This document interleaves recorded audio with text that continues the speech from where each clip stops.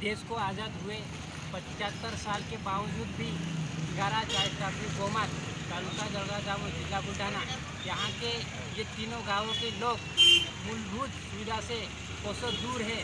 यहाँ के मूलभूत सुविधा जैसे कि रोड बिजली पानी स्कूल दवाखाना ये पट, ज़मीन पट्टे ये सभी मूलभूत सुविधा से वंचित है।